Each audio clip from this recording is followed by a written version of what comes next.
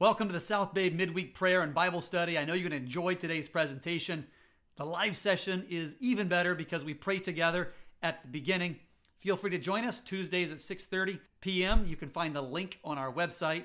Now sit back and enjoy some spiritual refreshment. For the past couple of weeks, we've been hearing from uh, uh, experiences in Germany and then experiences in Korea, and now we're here about experiences in Russia where Dr. Boaz was um, called to go there as a medical missionary, he and his wife.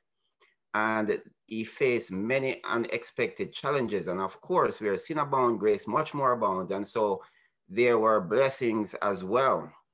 Um, Dr. Boaz is married to Michaeline. You'll hear him refer to her as a Mickey.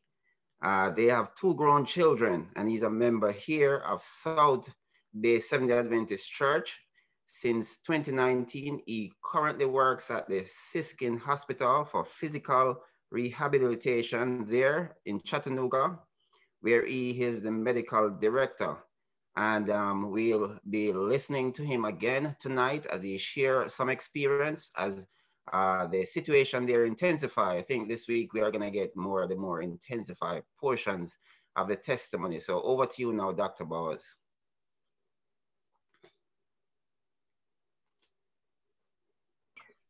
All right, can you hear me? Yes, we can. Okay, thank you, Peter. Um, Welcome. You recall last week we uh, left off with a story, really a Russian allegory that was told to me by my, one of my Russian translators. And he told me that this allegory would help me to better understand the Russian psyche.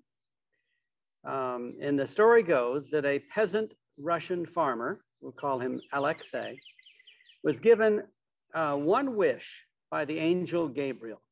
He could wish for whatever he wanted another cow, a new barn, a better plow, uh, and he it would be honored.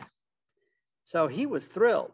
And as the angel was preparing to leave for the evening, he told him, Alexei, there is one other thing you need to know that whatever I grant to you will be granted double to your neighbor, Sergei. So Gabriel the angel departed, and uh, Alexei, as you can imagine, did not sleep. He was up all night, tossing and turning and thinking about what it is that he should ask for. Oh, that would be good, but oh, Sergei will get double of that. And so he, he, he contemplated this question all night. The next morning, the angel Gabriel reappears. He says, uh, Alexei, I, I am ready. I'm glad to tell you that we are going to, that God is going to honor your request. What is it that you wish for God to do for you? And Alexei said, Well, my request is that you put out one of my eyes. I've never really understood that but you know the consequences for his neighbor. That's, I think, not only the Russian psyche, but that's human nature. That we often are like those crabs in a barrel, you know, you hear about. One tries to get a little higher and crawl out, and the others will pull him back down. And um, we often see that. The year that Adventist Health Center started and opened in 1992, um, things were very different than they are now. So I don't want you to assume it's like that now. Um, my wife and I have been there recently, not during COVID time, but it's, it's transformed. It's very, very uh, different. Um, it's much more European Western is what uh, Russians would say, but not to give the West credit really. Um, and truly they've accomplished a lot in these years. At the year that we opened the clinic in 1992, 80% of joint ventures failed. The Adventist Health Center was one of those successful few. And success is determined simply by did you open and operate? Not did you operate for at least a year or five years? Did you make a profit? None of those things are determined in success of these numbers that were given at that time. Just did you open? And did you operate? Well, last week we told a lot about how the Lord had blessed at the Adventist Health Center and really in a larger scale, the entire Adventist work across Russia. and how the Lord had prepared our small little denomination for a long time to be able to uh, in, uh, be present in Russia in every aspect, from education to seminary to pastors. Uh, at one time, I didn't mention last week, but Peter Kulik, he was of Russian descent and he was from Australia and a construction uh, man. And he and his family came over. And at one time, he was in charge of construction of over 300 churches in the Eurasia Division region. Um, and um, so churches were being built, uh, but not as fast as the evangelistic meetings were bringing new uh, converts in. Success breeds envy and greed wherever you are. And we had challenges in this regard, both from inside and from outside. From inside, most notable was our required joint venture partner. And from out, without was the Russian mafia. So we'll talk about within first. At the time in 1991, uh, when we uh, first were uh, there, as the Soviet Union had collapsed, Russia was developing new laws and regulations. And one requirement was that all foreign entities or businesses, clinics, etc., must have an assigned Russian partner. That means the government decided who that was. You, American General Conference, did not have any say. These arrangements were all made really unbeknownst to me and prior to our arrival. But when we arrived, we discovered our assigned joint venture partner, big, kind of a beefy, strong, masculine kind of guy, uh, met us with a big smile at the airport. His name was Victor, and he had flowers for my wife. Any special occasion, Russians are very faithful with bringing flowers. We Americans could learn a lot from that. Russian, um, Victor was a savvy Russian businessman at the time. He had been a prior diplomat who'd been stationed for several years in Cuba. So he spoke Spanish, but not English. He was not an Adventist, not even a professing Christian. But some of our Adventist leaders were acquainted with him and they seemed to have a mutual respect for one another. His wife was a dentist. She had a leadership role in one of the local Moscow city dental clinics. Well, since I was the president and CEO of the Adventist Health Center and he was the Russian partner, his expectation was that the two of us and our families would live the high life above the level of all the workers. For example, when Victor found out that our daughter liked horses, he immediately arranged and set up horseback riding lessons for her at an elite equestrian center in Moscow. This is the place that they trained Olympic equestrian riders. Um, we didn't last very long there. One lesson cost more than a monthly salary. Uh, he, had an, he had a new Volga. That's the top of the line Russian made automobile lined up for us at the Adventist Health Center to purchase. And of course, a chauffeur ready to hire. He was also planning on building a dacha. Uh, dacha is kind of the name for a country home. So he was going to build a dacha from the building materials that were being used to rebuild the Adventist Health Center. Evenings were for dining out at extravagant, gorgeous, uh, old 1800s buildings that were now restaurants, and then going to the Bolshoi Theater for ballet or opera. Or if they weren't operating or we had seen it, we were to go out to an exquisite nightclub for drinking and dancing with government officials and society. I don't know how that fits with all you guys, but for Mickey and I, it didn't take long to figure, figure it out. We had different worldviews. We had different goals, aspirations, lifestyles, and operational approaches. It wasn't also long before the General Conference realized that being yoked with this unbeliever was not going to work. And the government changed the rules about that time, allowing the General Conference to partner with the local Seventh day Adventist mission, or later became the Eurasia Division. So the General Conference set about to change the arrangement and remove Victor from the joint venture. However, joining up with the Adventist Health Center and the General Conference were Victor's ticket to a good and profitable rest of his life. And he was not going to let go of this life plan without a fight. But God needed to purify the inside of the Adventist Health Center before we could withstand the attacks from the outside. The external controls of communism in the, in the country at that time were being replaced by Western materialism, greed, and crime.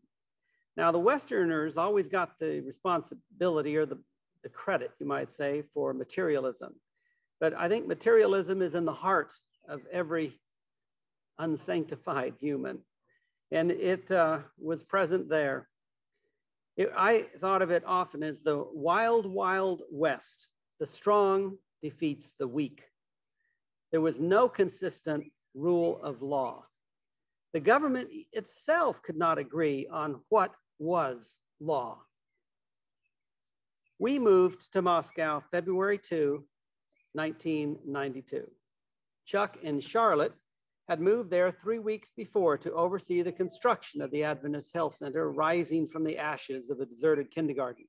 Chuck was to be our dental lab technician, an excellent technician, but he also had the um, blessing of being a, a contractor. So he understood construction.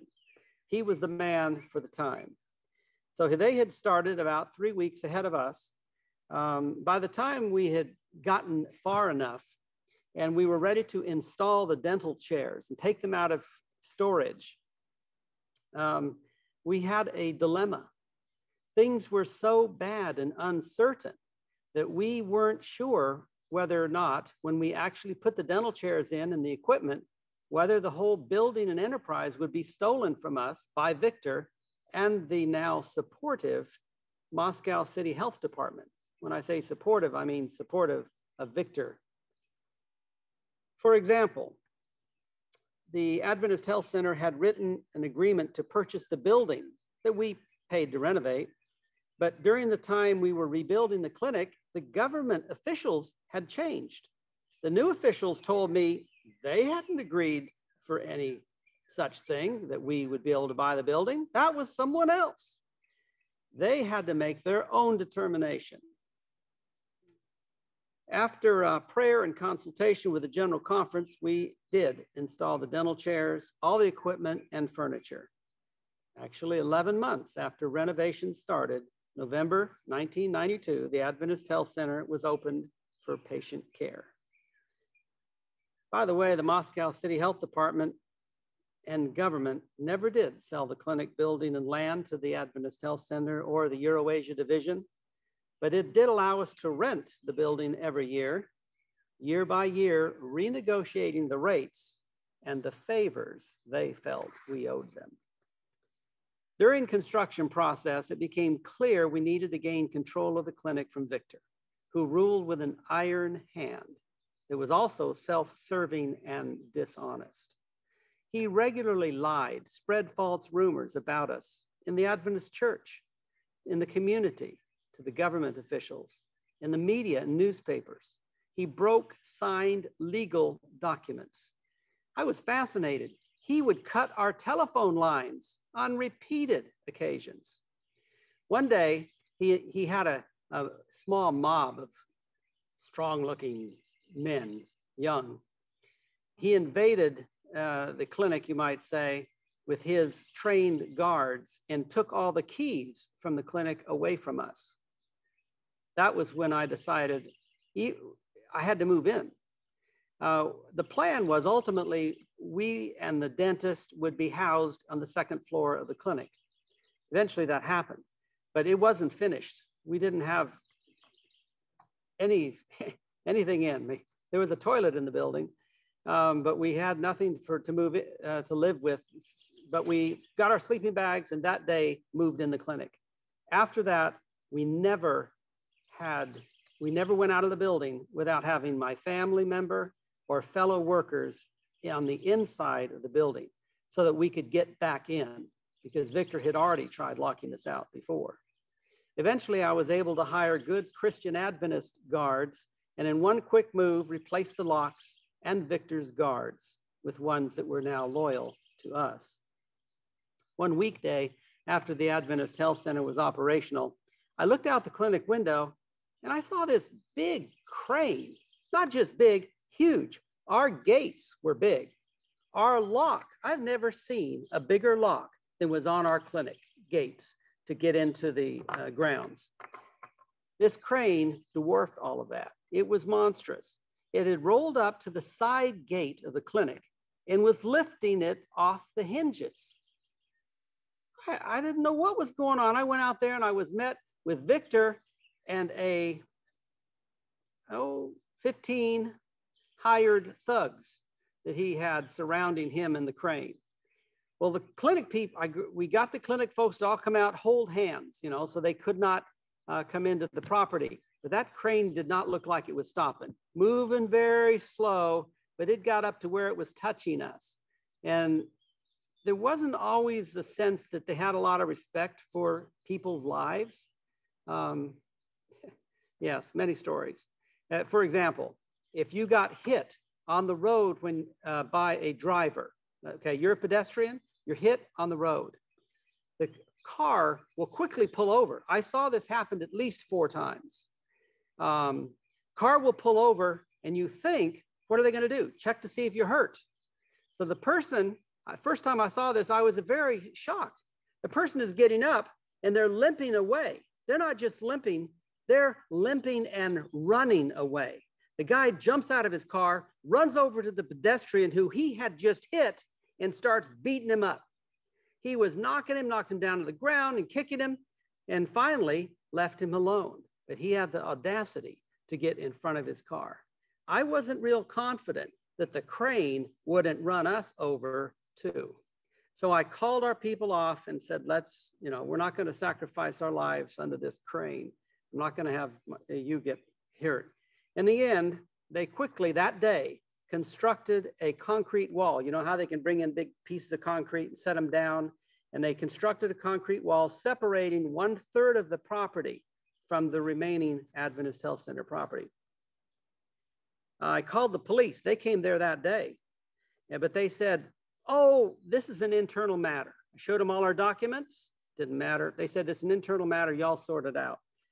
The health department, I went to them the next day. They, they were very dramatic. They said, oh, Victor will leave by the same gate he came in, but he didn't. Have you ever noticed that Satan uses our faithfulness against us? What landed Daniel in the lion's den? His faithful prayer life. Our faithful attendance to Sabbath school and church ended up to be the time when Victor chose to steal the next third of our property. By now, he didn't need a crane uh, to lift off the gates, he had his own, but he got another crane and extended uh, the, the line of concrete wall by another third. He had succeeded in stealing the first third, but he had gotten a lot of bad press. And he wanted to do this when we were not present to mount a defense, you might say. He ultimately built a building four times the size of the Adventist Health Center within 10 yards of our building on the back side. We contract, contacted all government agencies imaginable with volumes of legal paperwork, including documents Victor had recently signed with the Euroasia Division and the General Conference, but to no avail. We had done everything right, moral, legal, honest, and lost. I wasn't used to that. I was the General Conference missionary. And you know what? I hated Victor. I had never hated anyone else in my life. I actually desired bad things to happen.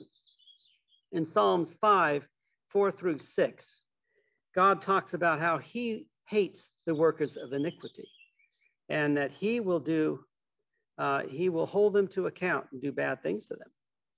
I had advice for God. I had picked out several times when I thought, God, now's a good time. Make good on your promise. Do it to Victor. He had been blatantly dishonest, and his illegal efforts were crowned with victory. I thought my hatred was certainly justified. Matter of fact, I thought it was probably righteous wrath in godly hatred. I learned that two good things came out of this experience. One is God taught me and gave me the power to forgive Victor.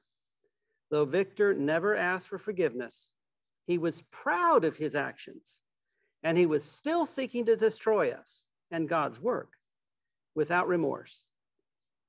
But you see, my forgiving of Victor was essential for my salvation. And it was essential for the Adventist Health Center to be able to move forward in God's word. The other good thing that came from it was that Victor left in time with the property he stole. He focused on the new joint venture and construction of his new building. Eventually, he left us alone. Although two thirds of our property had been stolen, we still had what we needed to function and fulfill our mission. We were free of Victor, but not without paying the price of being unequally yoked with an unbeliever. Uh, one example of God's deliverance during this time. Victor went to a reporter for the main Moscow newspaper.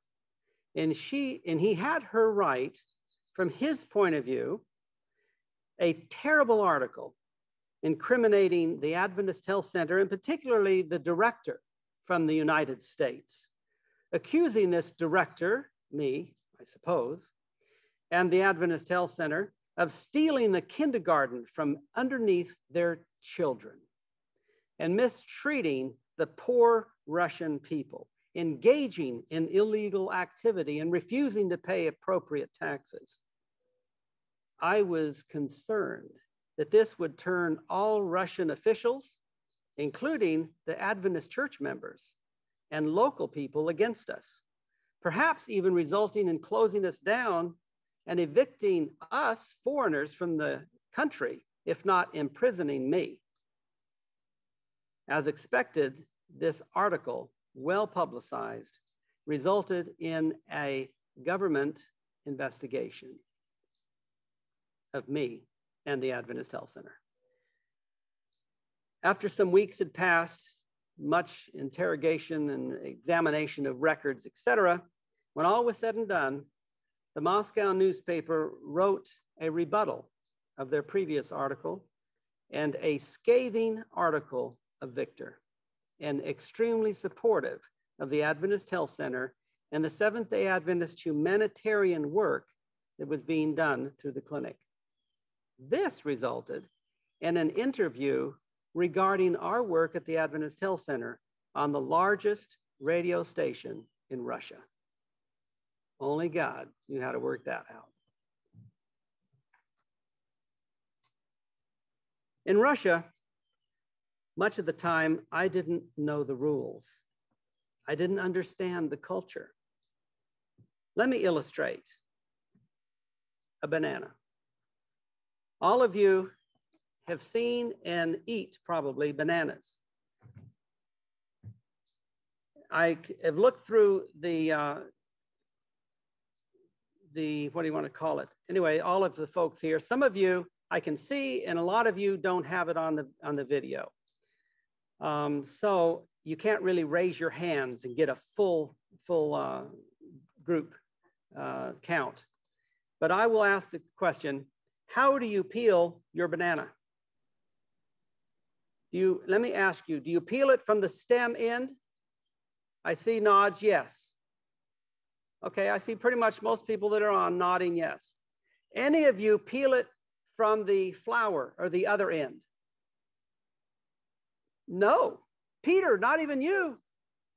Okay, nobody else? Yeah. I do. Who does? I do too. I do. I do. I do too. Okay. There are some other countries that peel it from this end, particular Eastern Europeans, and goes along with Russia, and then some of the Caribbean uh, countries I've noticed uh, as I've talked. But generally, it's somewhat culturally. If you find a country, usually they appeal it. Americans generally, who are native born US citizens, peel it from this end. Why? It's a cultural thing.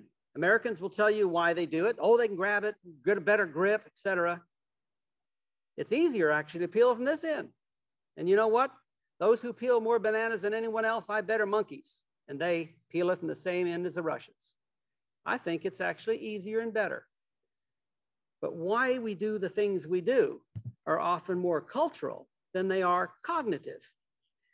After living three years in Moscow and traveling all over the so prior Soviet Union and beginning to learn the language, there was one thing I knew, and that was that the mafia runs the business world there, particularly in Moscow, where we lived.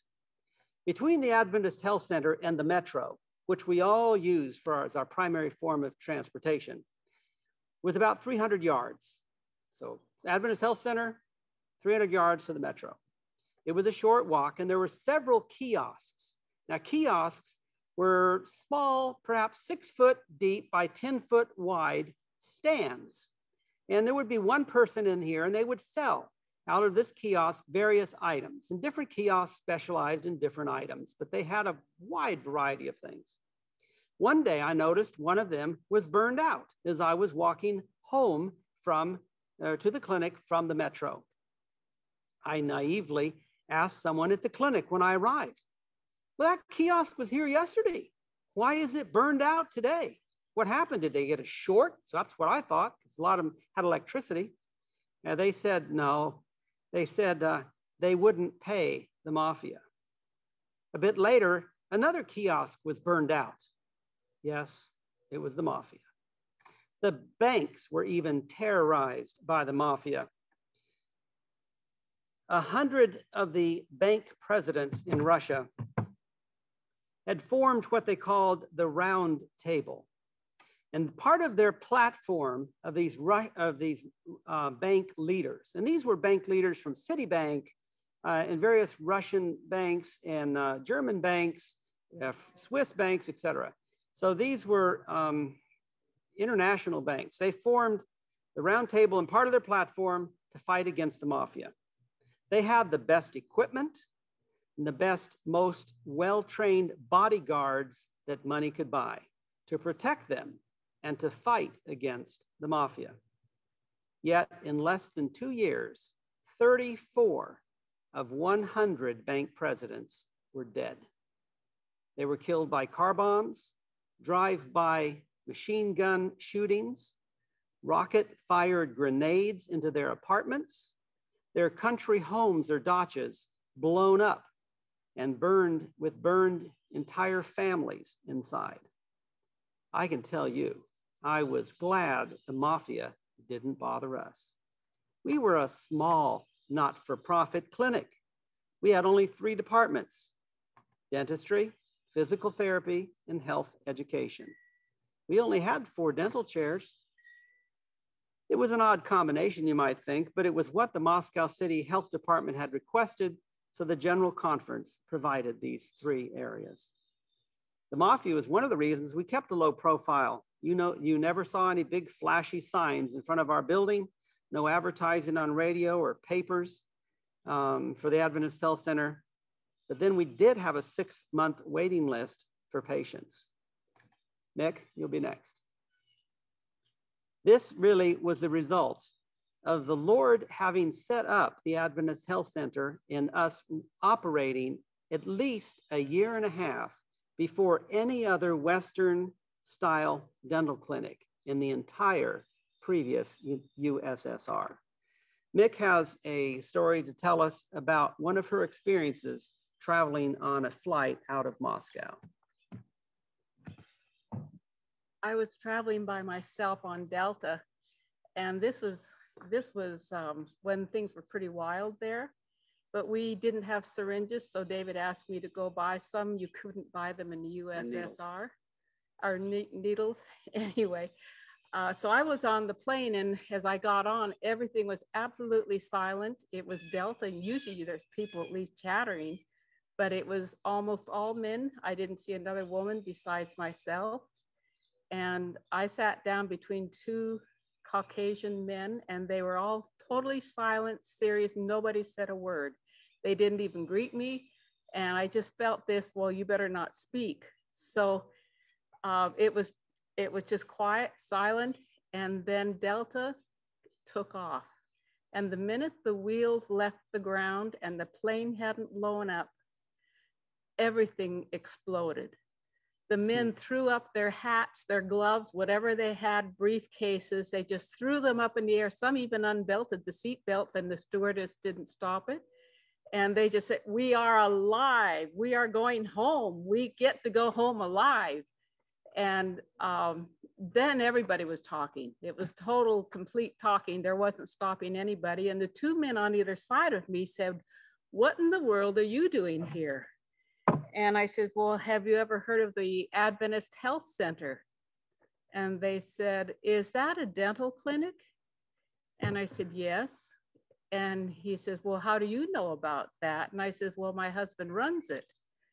And he says, Oh, the first question he asked, Do you reuse needles like all the other dental clinics? And I says, No, that's part of the reason I'm flying out right now is we need more needles.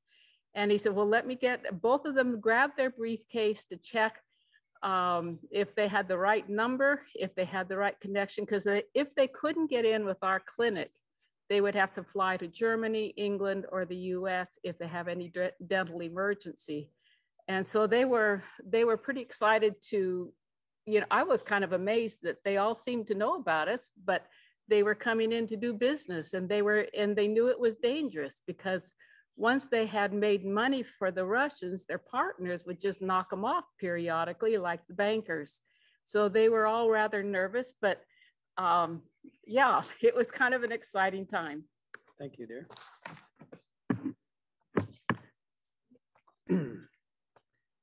well, the mafia first hit the publishing house and seminary. It was located in Zaoksky, about 80 miles south of Moscow a little town.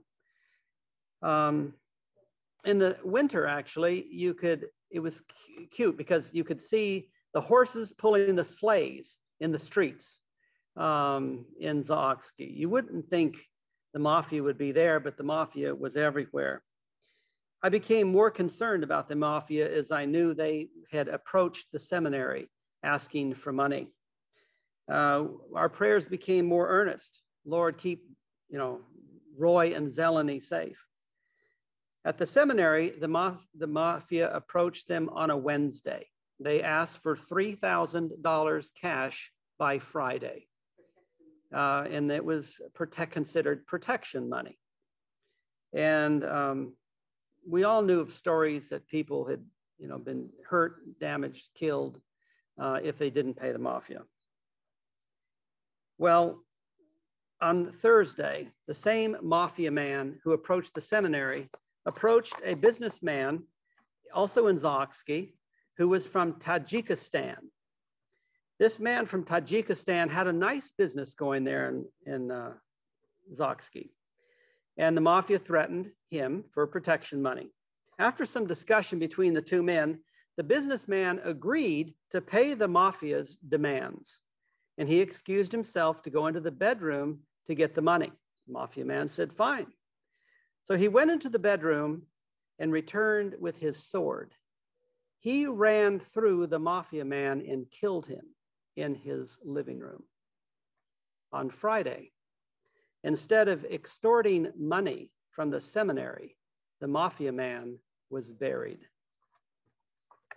That brought me considerable amount of satisfaction and comfort seeing how I wondered, I thought that the Lord had protected the seminary in a way that seemed to befit the times that we were living in.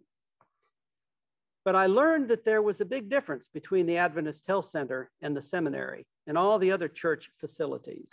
You see, the Adventist Health Center was a business and it charged money for services. In America, we're accustomed to charging sick people to receive care. In Russia, that, that went against the grain of their mindset and their culture. And by Russian definition, if you were nonprofit, you didn't charge money. You had a sponsor. So as the director of the Moscow and uh, city health department had pointed out to me, since we charge our sick patients, we are not nonprofit, we are for profit, just like the banks, she told me. Just like the banks. But we have to pay our staff, our rent, utilities, buy expensive foreign dental equipment and supplies. The church couldn't afford to pay for that. And we treated 20% of our patients for free, discounted by 75%. The rest of our patients, except for 20%, only paid full price. And that allowed us to do everything else for free.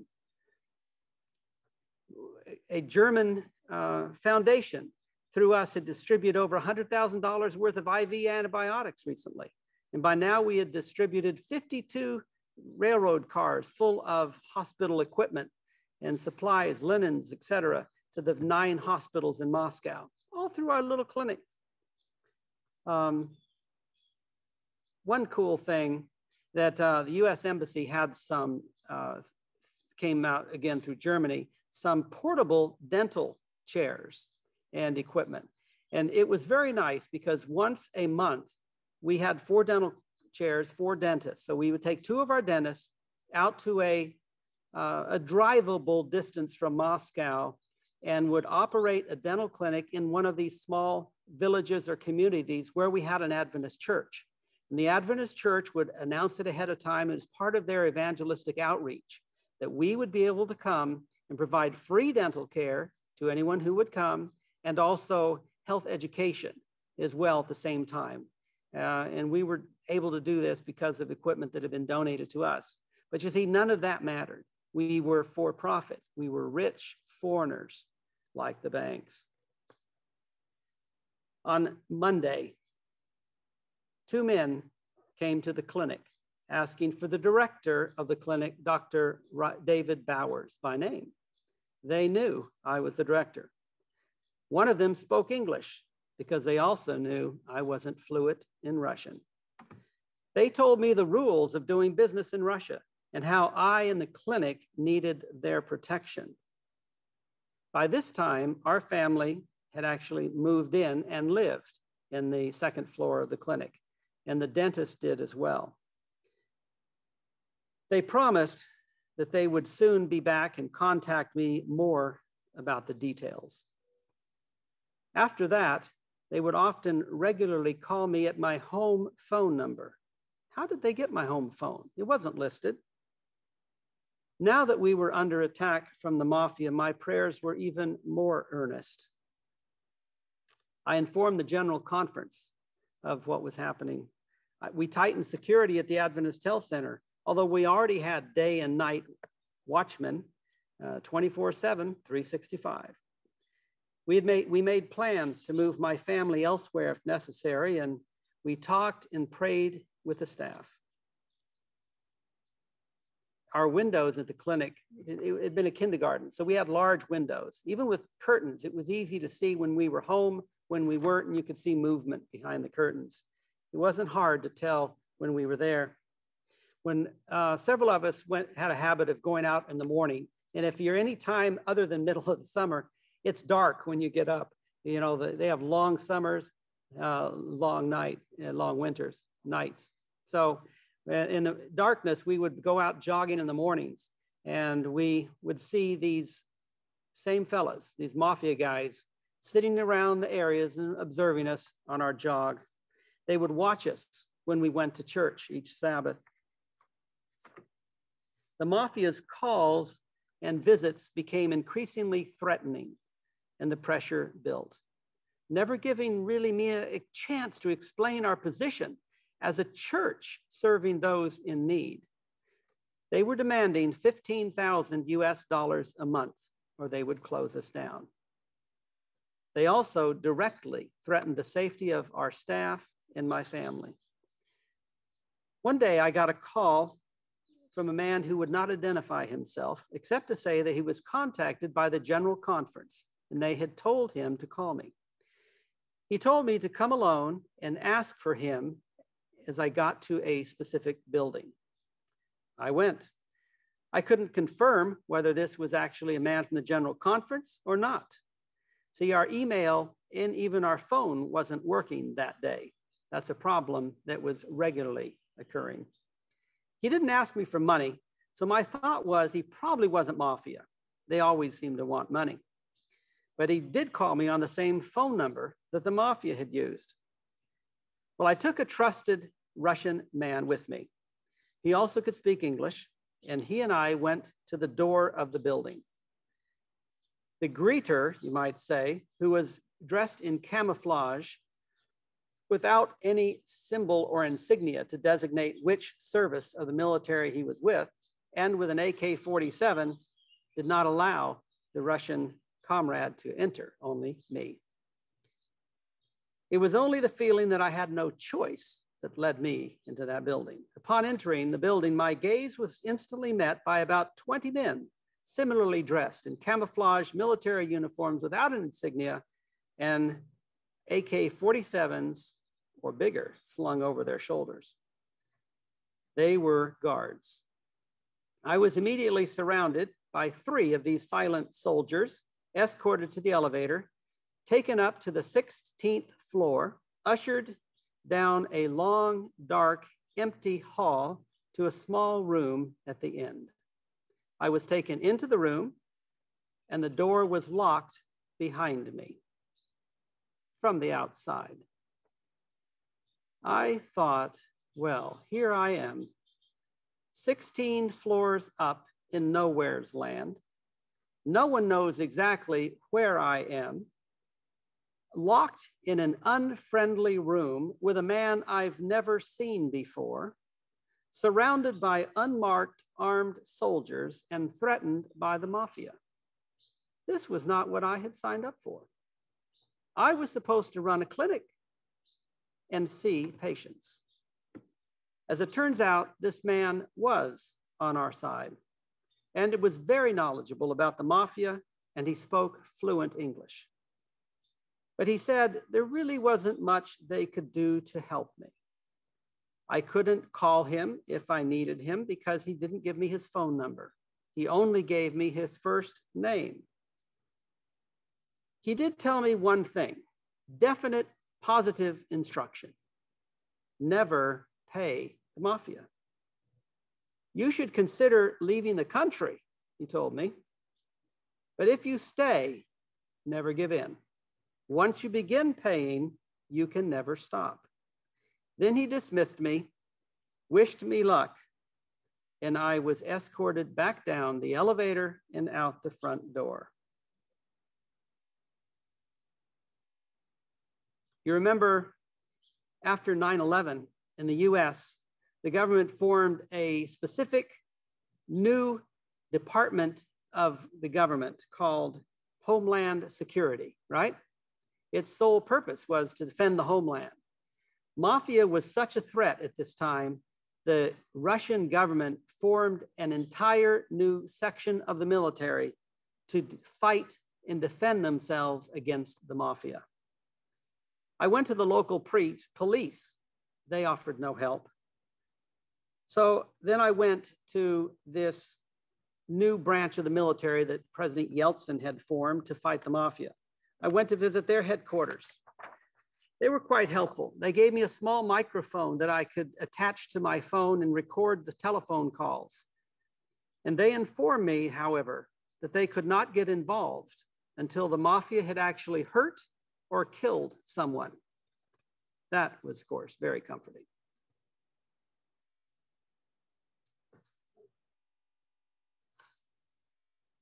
It didn't take me very long after all of this, a couple weeks, to realize that we were clearly on our own.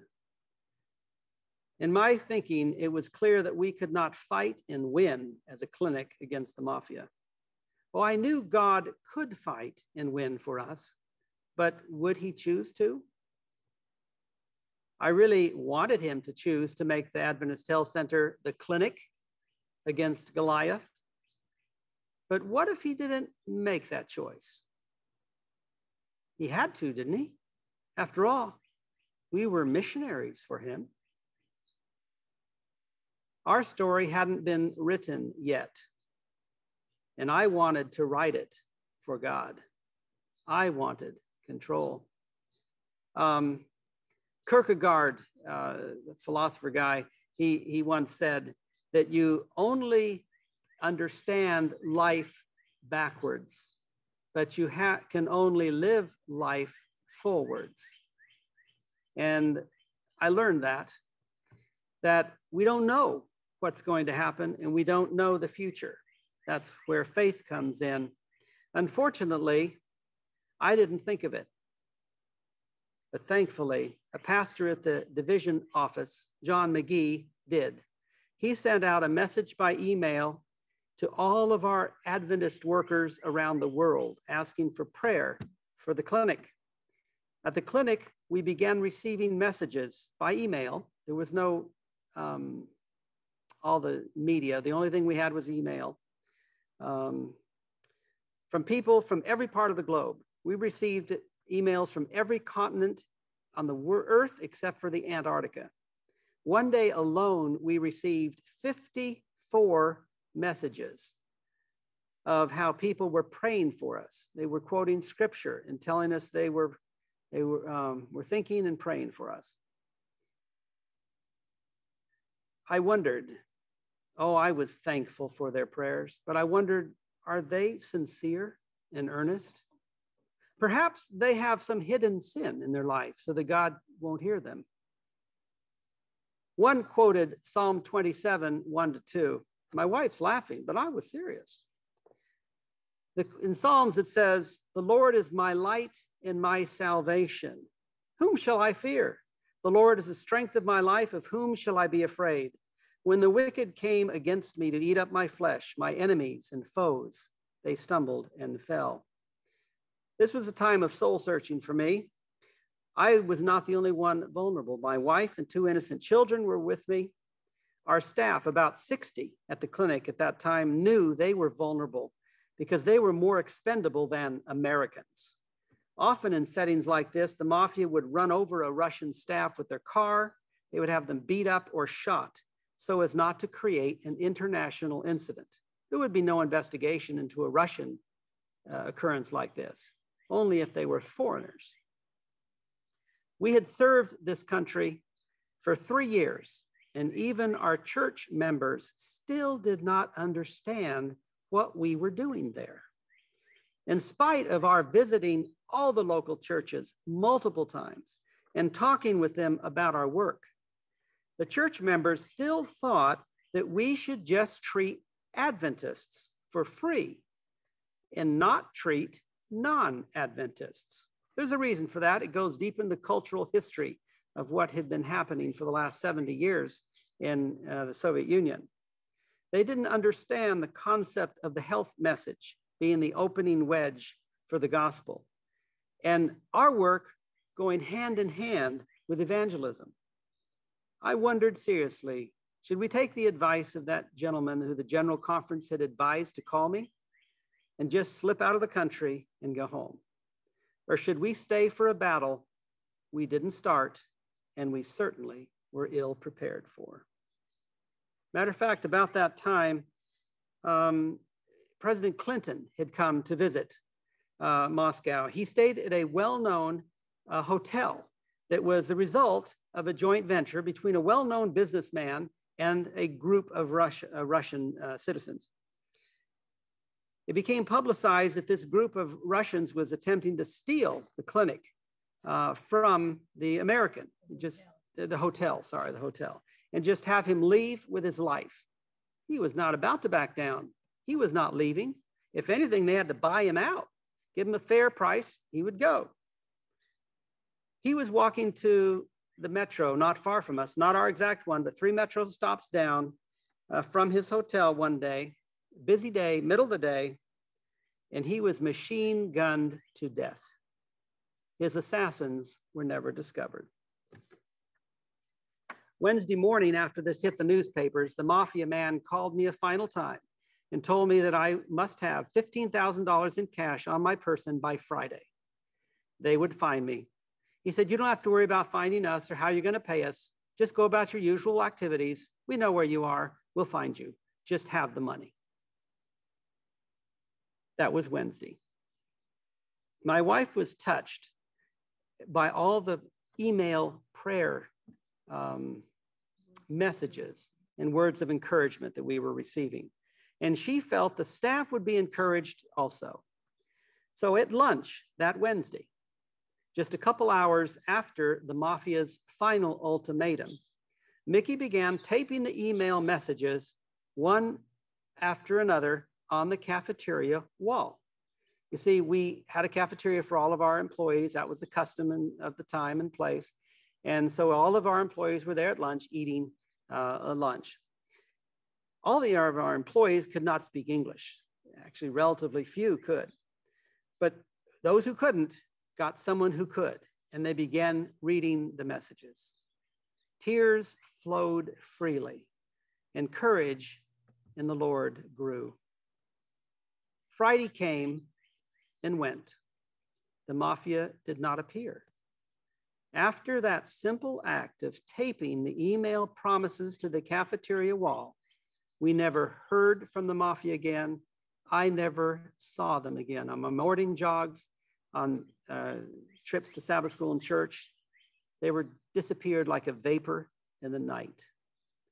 I can only look forward to heaven to find out how the Lord delivered us.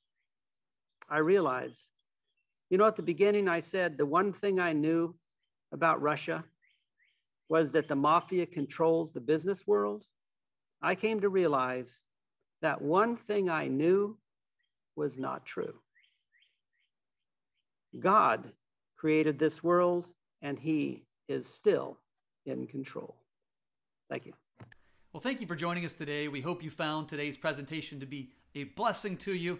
And you know, it's never good to keep things to yourself. It's always best to share them. So find someone that you can share what you have been blessed with with others. If you enjoyed today's presentation, let us know by hitting the like button and subscribe to this channel if you want to know when there's new presentations coming out. God bless. Have a great week. We'll see you next week.